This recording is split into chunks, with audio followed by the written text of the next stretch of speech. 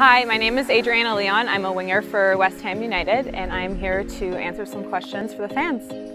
Okay, so first question, how did you get started in football? I started playing football when I was four years old and I wanted to follow in my two older brothers' footsteps. They also played football growing up and I wanted to be just like them, so I started playing as well. Okay, toughest player you've ever played against? I would definitely have to say Megan Rapinoe. She's a beast on the field, just unbelievable. Okay, favorite city you've played in so far? Definitely London takes takes the win. Best advice anyone has ever given you? I would say for me it's been to be patient and to be yourself. I think those are wise words and sometimes overlooked by many of us. Last thing you saw on Netflix it was the show Suits. It's filmed in Toronto, in case anyone didn't know. What did you want to be when you were small? I used to want to be a vet because I love animals and I always cared for them ever since I was young.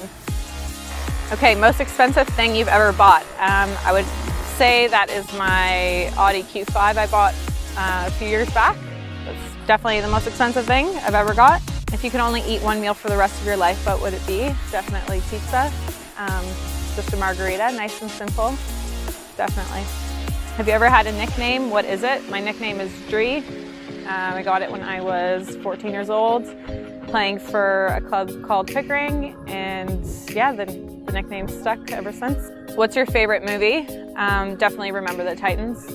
It's, it's, a good one. Do you collect anything? Um, sometimes I collect Starbucks mugs from wherever I go. How many languages do you speak? I can speak two languages, obviously English and French.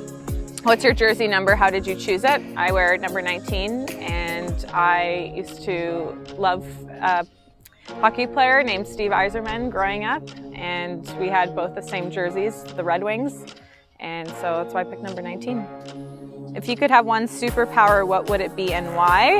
Um, I would definitely choose to heal people so that no one would ever get sick. On a scale of 1 to 10, how funny would you say you are? Um, probably an 8.